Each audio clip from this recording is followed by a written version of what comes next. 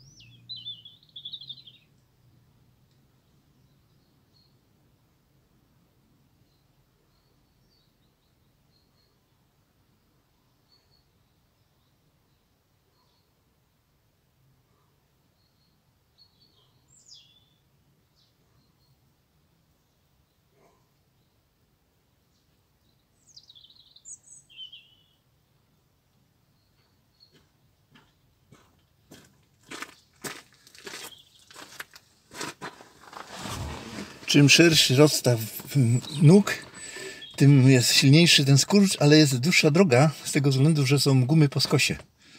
Także one aż takiej dużej drogi nie muszą pokonywać. I ta elastyczność jest w takich granicach, że tak powiedzmy bicepsy sobie dają radę. No to jest 25 kg na rękę.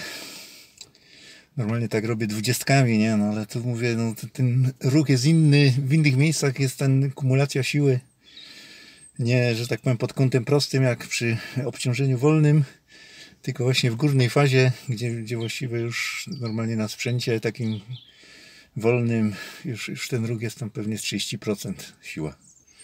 No ale zawsze coś tam się zrobi. A jeszcze następne 5 serii potem triceps Wam pokażę.